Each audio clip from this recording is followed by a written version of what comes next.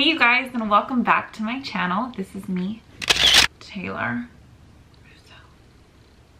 If you guys haven't already, make sure to hit the subscribe button to continue watching my videos. I wanted to start a new series basically talking about the different nursing prerequisites. So for today's video, we're going to be focusing on biology. If you're in this class or you're going to be taking this class, I just wanted to share with you the most important concepts that I've seen time and time again in all of my future classes, like anatomy, physiology, like just basically the main ideas if you are taking bio or if you're going to take bio to really remember and study and focus on. So yeah, let's get into the video.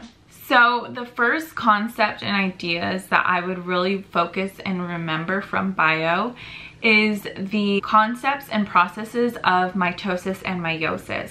So basically know the differences between mitosis and meiosis. Know that like mitosis is just for generalized cells and meiosis is only for sex cells. And just know the different phases like anaphase, prophase, metaphase, telophase, like all of that stuff because that is gonna come up again in anatomy. It's gonna come up again in physiology and it will come up on your TEAS exam because I got some questions about that.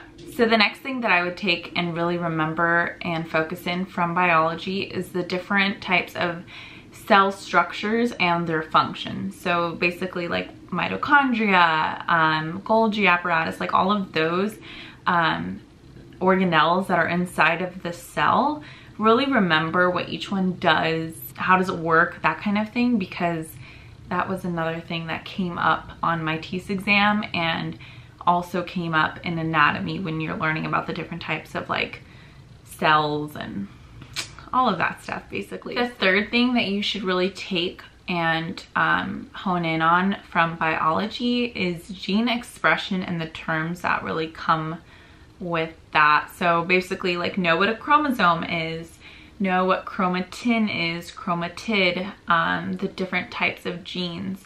Um, so when I took pathophysiology, which is basically the diseases within the body, when we got to the section on um, like hereditary disorders, this is when this was really helpful, you know, knowing the different types of genes and what happens on the X and the Y and all of that stuff. So when taking biology, make sure to remember what um, the different terms are, gene expression, and what exactly all of those things do. The fourth thing that you should remember and really hone in, I keep on saying hone in on, like,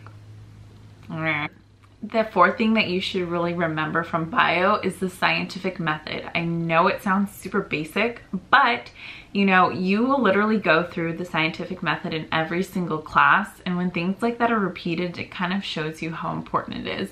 And also, this was another thing that I got tested on on the TEAS exam. So make sure you know what a hypothesis is and conclusions and everything else in between. So don't forget about that.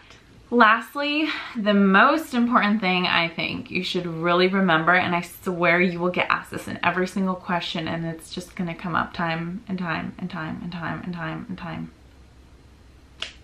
again, is the difference between a eukaryotic cell and a prokaryotic cell. So a eukaryotic cell is gonna be your animal cell, your um, basically all the cells within the human body and then a prokaryotic cell is going to, going to be like a bacteria. It's not really living it doesn't have a nucleus like that kind of thing.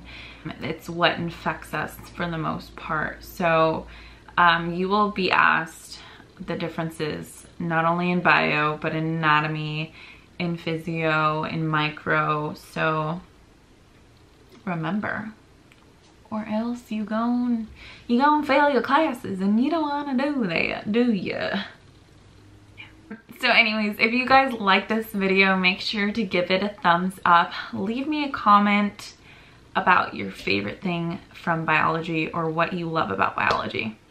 And I will see you guys in the next video. So peace